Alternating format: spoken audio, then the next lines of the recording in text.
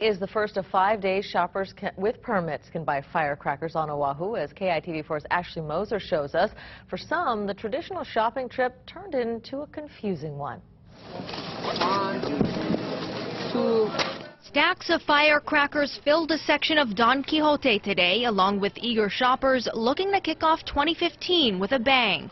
But a task that was once easy for some is now a challenge. It is hard because you've got to limit yourself. This year, Velma Chang is looking to get a supply big enough to entertain four generations.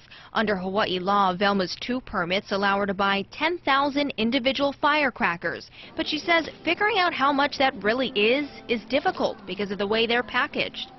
And that's the reason why we asked them how many can we get and how many, you know, because everybody asking, they don't know how many. You bring that all to the counter, oh no, you only can get one. The city and county of Honolulu issued nearly 11,000 permits this year, about 200 less than 2013. Many shoppers started early to make sure they get their firecrackers before stores run out of supplies like many did last year. Some are also looking for anything that will help ring in the new year. We're still going to look around and see if there's other stuff that you don't need a permit for, but hopefully we have enough stuff. But when looking for variety, shoppers say it's nothing like the old days it's not the same because like the kids can't really play with it like the flowers or the sparklers it's like not really there. Regardless of the changes shoppers say they will find a way to welcome the new year with a bang. It just makes you happy because without the fireworks it's not giving you uh, good luck for the year.